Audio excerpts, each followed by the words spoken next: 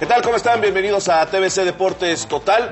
Le damos la cordial bienvenida después de esa fiebre olímpica que ya finalizó, pero ya tenemos los últimos detalles de lo que ha sucedido en Londres. Pero también nos tenemos que meter de lleno con la selección mexicana que va a enfrentar a Estados Unidos el próximo miércoles. Le recordamos, va a haber selección total antes y después del partido del próximo miércoles en el Estadio Azteca. Así que arrancamos con la pregunta del día y es clara. Después de los resultados de la sub-17, de la sub-20 y de la sub-23, ¿a qué está obligado México? Ya que los de abajo están poniendo el ejemplo. Luis Castillo, ¿cómo estás? Hola Alberto, qué gusto saludarte. Está obligado a trascender. Tampoco podemos decir que tiene que ganar un mundial, tiene que ser paso a paso, trascender en la próxima Copa del Mundo. Muy bien, eh, para Luis hay que darles tiempo. Para Gilberto Alcalá, ¿cómo estás Gilberto? ¿Qué tal Alberto? ¿Cómo estás? Igualmente Alberto, toda la mesa. Yo creo que hay que ir con calma, ¿no? Se ganó, sí, una gran... No, bueno, es que tampoco puedes exigir y tampoco puedes estar en... Bueno, ese es mi punto de vista. Igual tendrás tu otro punto de vista, respetable sin duda ninguna. Pero creo que hay que, hay que entender que se ganó, sí, una copa, y muy buena, o sea, un, un logro extraordinario. Pero bueno, ya enfrentarse a las grandes figuras de todo el mundo no es tan fácil. No Somos es lo- buenos no es en niveles menores, no en el Hasta mayor. hoy sí. En el mayor no. Hasta hoy. Vamos a ver si nos demuestran lo contrario en los próximos. Bueno, ya está en dos años. No está tan Bueno, lejos. primero hay que calificar, ¿no? En el eliminatorio. No, bueno, ahí. Digo, no quiero hacer como eh, alguien dijo alguna vez, caminando. Aunque no quiera, México califica, también por ahí alguien dijo. Aunque no lo quiera, México califica. Nomás ganando los partidos aquí en el Estado Azteca, que todo el mundo se agacha. Pero México tiene que hay que ir aquí con calma. Ya faltan dos años, no falta mucho.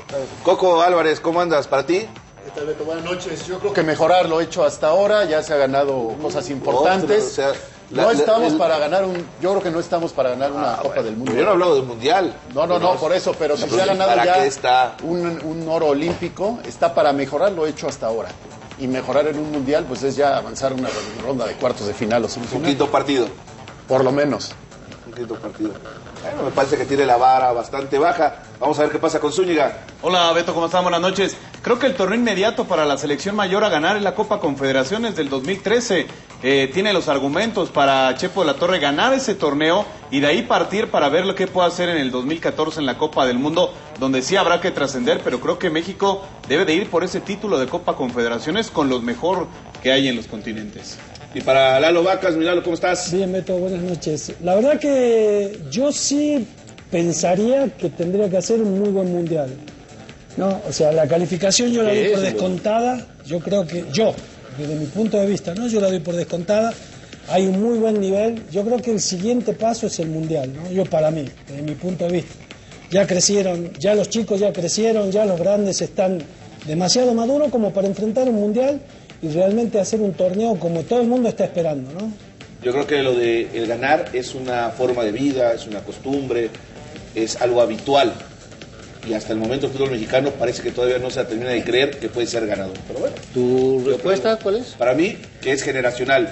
Tenemos que esperar que estos chicos maduren, crezcan, para poder exigirles. Al actual, le veo difícil exigirle algo.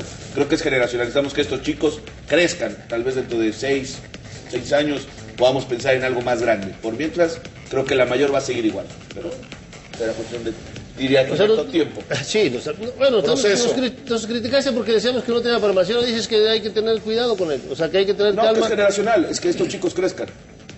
¿Cuánto tiempo? Y eso da, y eso da, Este mundial no, el que sigue. eso da para, Seis no, bueno, años. tiene 23 años, bueno, Por eso, salvo seis años, Diego Reyes que tiene 29, 19, todos los demás por tienen eso, 21, 29, él 20, entre 25 y 32 años, es la edad de los jugadores tiene 23 más campeones. 2, 25, No, no, más yo- eh, los que ya seis, están, yo digo eh, seis, 6 años. seis años. Entonces en el, en el mundial que viene no vamos a hacer nada.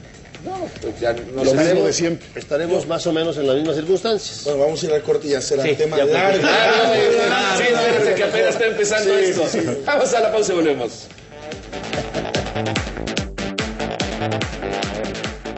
Esta ha sido la historia de la selección sub-23 y el arranque de esta selección mayor. Ahora, ¿por qué temerle? ¿A qué? Pues si pusieron la vara alta, sí, consiguieron un gran logro. Hay que limitarlo, ¿no? Hay que tratar de hacer lo mejor posible, estoy de acuerdo. No, pero es que, bueno, tú, tú dijiste, o sea, acabas de decir hace cuando estábamos, hicieron la pregunta, arrancamos el programa y dijiste que no, que no era una cuestión, que era, No, no era que los que están ahorita generacionales. difícilmente van a hacer algo bueno, histórico ah, bueno. como estos chicos. Ah, bueno, sí. Hay que esperar que estos chicos Pues lo que está diciendo categoría. Guardado y lo que está diciendo todos los que, los que están, lo que oímos ahorita, que no, no es que sea vara alta, pues ellos son sub-23 y una cosa es ya competir.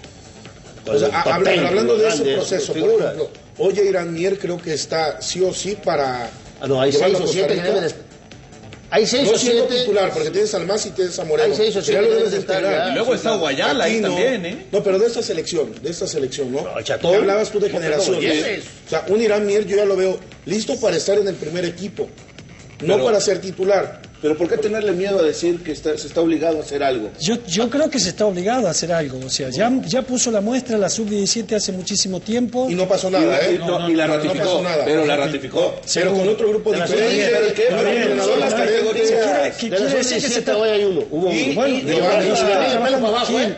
O sea, no fue la gran figura, ¿eh? La gran Lo figura que fue pasa es otro. que no es fácil ganar una medalla olímpica también como la ganaron ante Brasil. O sea, yo creo que este, eh, yo creo que este es un Y grupo Brasil ha maduro. Claro, yo creo que este es un grupo maduro, hay que tenerle demasiado fe.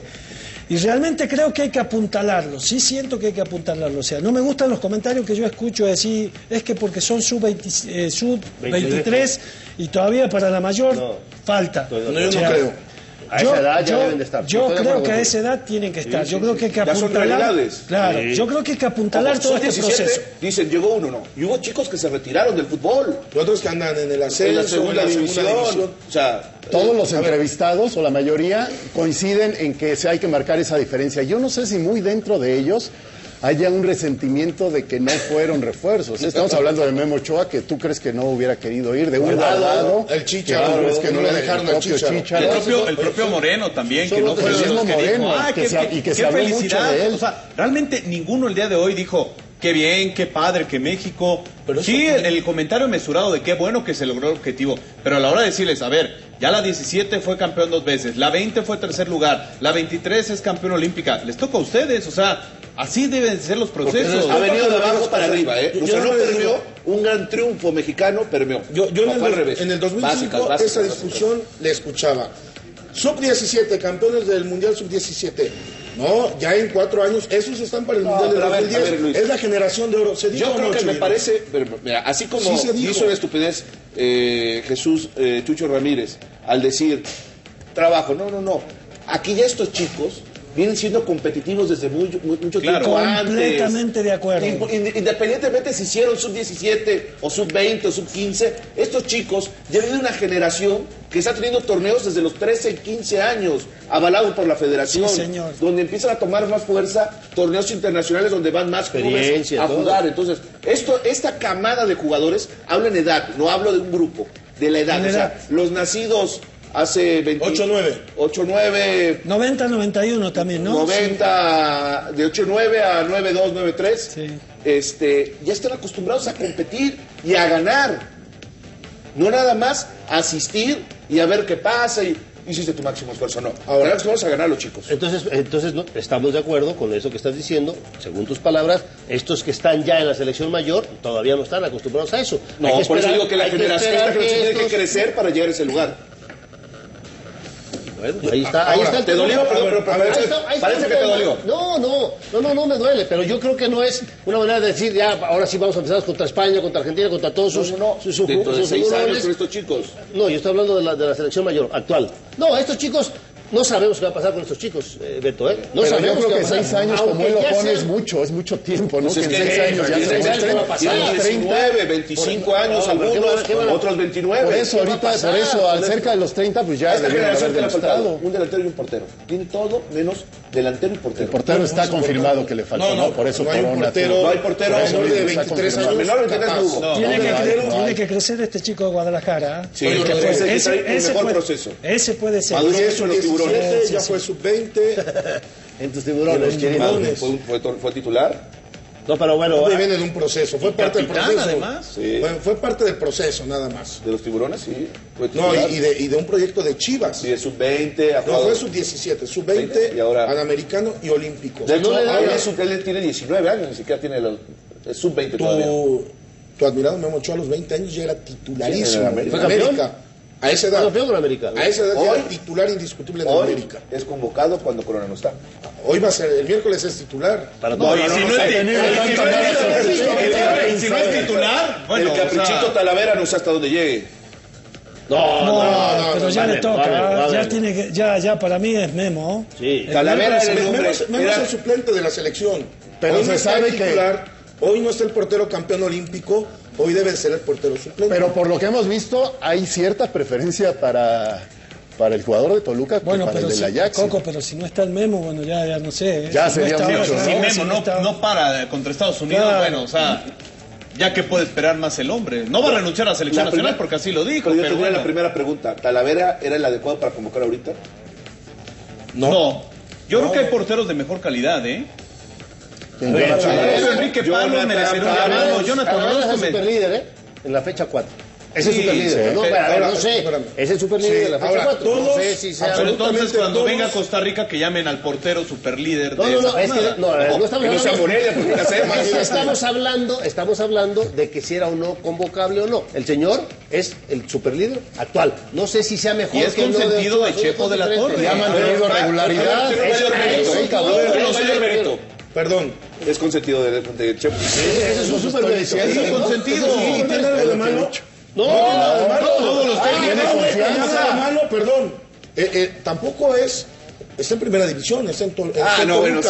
Tiene no- dos piernas, no- dos no es brazos, por- o sea. no, pero perdón. Y es es muy regular. No es un mal portero. No, regular, no es excelente. ¿Es confiable No, no es para la selección? Es la pregunta. ¿Es confiable No. para la selección? Lalo, me extraña. Tú siendo entrenador, Sí. normalmente el técnico lleva a gente de su confianza. Pero a la selección lleva, no, Luis. No, y a, sí, también a la selección. No, los técnicos llevan a sí, Y sé que en Argentina también, sí. pero en México sí. Sí. Gente claro de su confianza. No ha habido entrenador de selección nacional que no haya los partidos. Ahora, amigos, no. yo soy de esos cuatro. También llevan a sus cuates. Así es. Guda. Así es. Lleva a su cuarteto. O sea, que No, no. Aquí le tocaba. Yo no, Ya yo sabía. Yo nunca decidí eso. Ya sabía. Tema, Decían, Beto. Gilberto, vas a ir a Veracruz. Ah, ok. Quiero a este y Gilberto va. Fulanito, No, no, Fulanito. loco. Y Paco. Y Paco Sánchez. No, para Como dice, como dice Gil, no sea malo. ¿Quiénes son los mejores tres porteros de México en estos momentos? Ah, no, bueno, Luis Michel, yo, yo estoy de acuerdo, por ejemplo. el Corona, Corona. Ah, bueno. Memo. A ver. ¿mexicanos o en México? Que están en No, México. no, no, no, mexicano, no para la selección, perdón. Ah, para, la selección, ok. perdón. Corona, Corona. primero.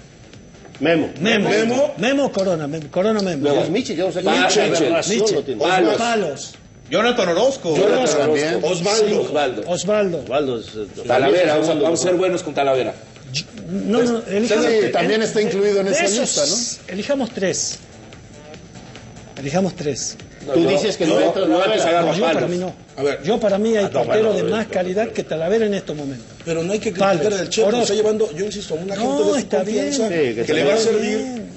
Me Que parece- eso es normal. No, me O sea, parece, normal. Y como ha sucedido en la Todos- historia, ¿no? En los todos los mundiales. entrenadores han tenido su talavera. En los mundiales, desde Javier Aguirre. ¿Cuántos amigos llevó. Javier? Ah, Guille Franco. Entonces, entonces, Desde, desde Caballero, ¿no? La golpe llevó, la golpe llevó al bueno. Chiquis. Ver, casi todos tienen su. entonces Todos, todos han tenido. Aguirre, Aguirre llegó a Sague y a Campos. Todos tienen a su talavera.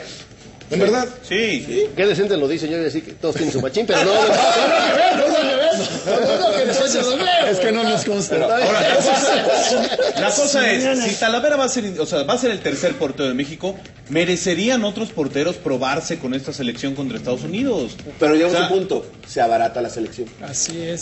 Se abarata. Ahora, el novato va a ser Manuel Viniegra, ¿no? Que seguramente jugará con, Que- con que Zavala. la selección está baratada. O sea, Adrián Aldrete. Manuel Viniegra O sea, también. Aldrete, lo de Viniegra puedes decir es un, hombre con mucha regularidad en el equipo que recién Pérez, acaba de que ser recibe campeón. otra oportunidad lo de- también. Lo de Viniegra es destacado, es un chico por ahí que tiene lo de Aldrete dices, ay, Enrique Pérez Pérez, de. Morelia. que ya lo, recuerden que ya lo convocó y fue criticado, o sea, le está dando una segunda oportunidad del Chepo y creo que se la merece, Enrique Pérez. Vamos a cruzar la calle. Vamos a irnos con la selección de Estados Unidos que ya está en México. Vamos a ver el reporte de la nota del equipo norteamericano.